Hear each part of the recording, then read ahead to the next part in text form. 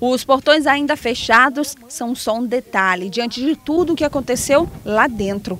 A escola Monsenhor Frederico Chaves ainda não se recuperou do prejuízo causado por vândalos no último fim de semana.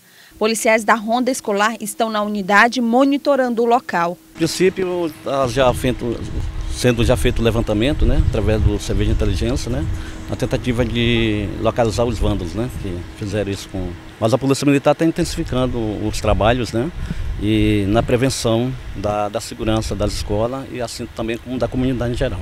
Os vândalos entraram na escola por uma grade empenada. Carteiras foram reviradas, materiais escolares jogados no chão, armários esvaziados. Segundo os pais dos estudantes, a escola não tem vigilância e esse não é o primeiro ato de vandalismo registrado por aqui. As aulas na unidade ainda não foram retomadas e a direção da escola mais uma vez não quis gravar entrevista. Ontem, a Secretaria Municipal de Educação divulgou que está fazendo o levantamento dos prejuízos e adotando medidas para que as aulas voltem ao normal. Mas a CEMED ainda não divulgou uma data exata para o reinício das aulas.